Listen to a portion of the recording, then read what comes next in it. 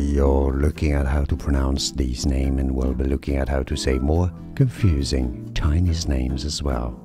This is a female name of China, from China. Xin Yi. Xin Yi is how it's said in Mandarin. Xin Yi. Xin Yi.